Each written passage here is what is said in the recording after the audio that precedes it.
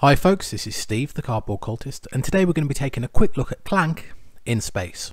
And this is a re-implementation of 2016's Clank. So throughout this video, I'll be making a lot of comparisons between Clank and Clank in space. So if you're not familiar with the core mechanics of Clank, I'd recommend you take a look at one of the many how to play videos for Clank, and then head back here to see what's changed. So instead of heading into a dragon's lair, this time players will be heading into Lord Eradikus' spaceship, and they'll need to hack their way into his command module and steal one of his artifacts before hopefully escaping via one of four escape pods. Now you've probably already noticed one of the primary differences between Clank and Clank in Space, and that's this modular game board we're playing on.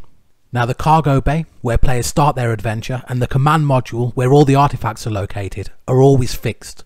But the three modules in the centre of the game board can be moved around however you like. They're also double-sided, so this is going to give you plenty of replay value.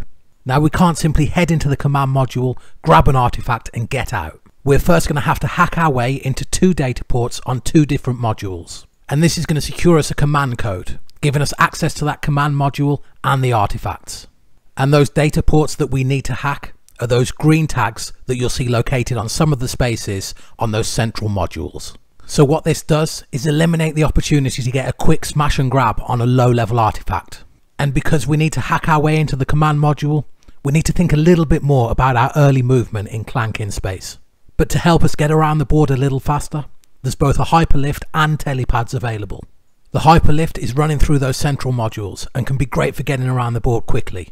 Although don't rely on them too much, Lord Eradikus is sure to shut them down in the late game. And if that's not enough for you, you can also purchase a telepass and use those telepads located all over the ship to zip around the board. Now in the late game, you're also going to have to contend with Lord Eradikus' bounty hunters, and these are represented by the red cubes over on that boss track.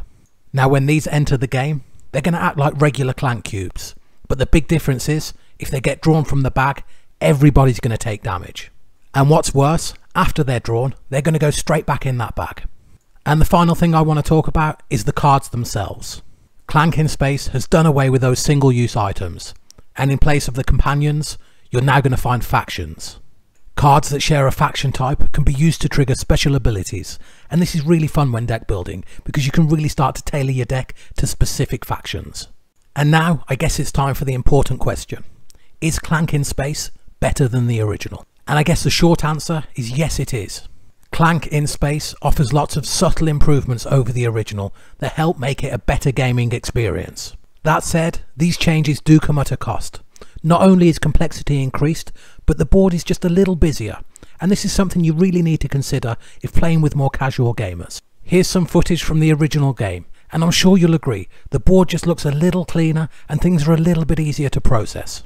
So while Clank in Space may be the better game, if you're still enjoying the original, don't worry, you're not missing out on too much. Hopefully this has given you a good idea of what to expect from Clank in Space, but until next time, as always, take care and thanks for watching.